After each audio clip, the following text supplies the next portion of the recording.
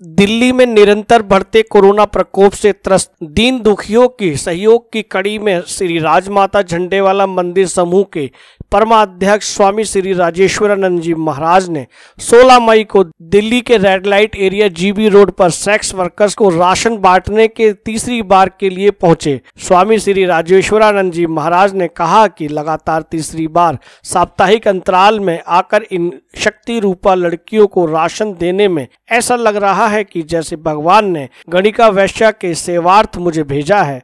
विगत दो बार इनके हृदय की पीड़ा को सुना, जाना और फिर हृदय की पीड़ा को लेकर अपने शिष्य मंडल के साथ राशन किट जिसमें आटा, दाल, चावल, चीनी, मसाले व सब्ज़ी आदि सामग्री से भरी दो गाड़ियाँ लेकर पहुँचे। इस संबंध में स्वामी जी ने कहा कि पहले दो बार बहुत दिक्कतों का सामना करना पड़ा, लेकिन इस बार यह बेटियाँ हमें और हम इनसे व इनकी पीड़ा से वाकिफ हैं तो इन्होंने बहुत सहयोगात्मक रवैया अपनाया। इन सेक्स वर्कर्स ने स्वामी राजेश्वरानंद जी के लिए पिता व गुरु के रिश्ते का अनुभव किया और बोली कि ये हमारे पिता हैं जिन्होंने इस दुख की घड़ी में हमारी तरफ़ ध्यान दिया है और कहा कि ये लड़कियाँ समाज में कूड़ेदान का काम करती हैं, यानी घर के कोने में कूड़ेदान नहीं होगा तो सारे घर में गंदगी का साम्राज्य रहेगा। ठीक इस तरह सफ़ेद पोष लोग यहाँ अपने शरीर की गंदगी को फेंकने आते हैं और इन बच्चियों का स्थान ना हो तो यह गंदगी मानसिकता के लोग समाज में न जाने कितनी गंदगी फैला दें।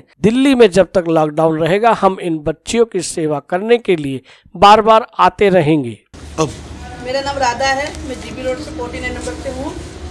ये हमारे गुरुजी एक से तीन बार आ चुके हैं हमको राशन। हम जैसे बोलते हैं हमको राशन पहुँचाए हम इनको आशीर्वाद देते हैं कि जब भी आए हमारी सेवा करें और हमारे लिए सेवा करने के लिए ये तत्पर है।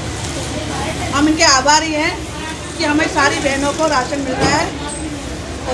आज इस समय पर कोरोना का इतना बड़ा संकट चल रहा है, इन बच्चियों की तरफ़ किसी का ध्यान नहीं है। शरीर तो ये भी है ना, आदमी को, हर आदमी के अंदर तुम परमात्मा का दर्शन करो। गणिका भी तो एक वैश्य थी उसने परमात्मा को पा लिया था हमको इनमें बुराई नहीं देख ये, फिर तो ये कहूँगा, ये बच्चियाँ तुम्हारे ऊपर उपकार कर रही हैं। ये कूड़ेदान है बेचारे। कि कूड़ा एक तरफ़ तुम गंद डाल के जाते हो तो तुम समाज में गंद फैलाओ उन बच्चियों की सेवा करने का मन का भाव आया। मैंने अखबारों में जब पढ़ा कि ये लड़कियाँ परेशान हैं, सेवा करने का भाव आया, तीसरी बार आऊँगा। इस बच्ची ने मैनेजमेंट चलाकर हमेशा हमारी हेल्प की है। किसी प्रकार की इनको किसी चीज़ की ज़रूरत होगी।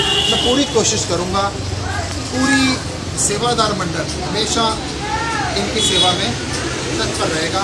आज हम लगभग छप्पन लड़कियों को हम आज यहाँ पर बांटे लो आओ।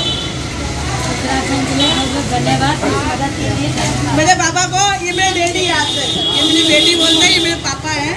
अच्छा। मेरे पापा को आशीर्वाद देना कि तुमको हर हर बार जब तक लॉकडाउन है हो तुमको बराबर राशन मिलता रहे। अगर आप ये वीडियो YouTube पर देख रहे हैं तो हमारे चैनल को सब्सक्राइब करें और बेल आइकन को दबाना ना भूलें। अगर आप Facebook पर ये वीडियो देख रहे हैं तो हमारे पेज को लाइक करें।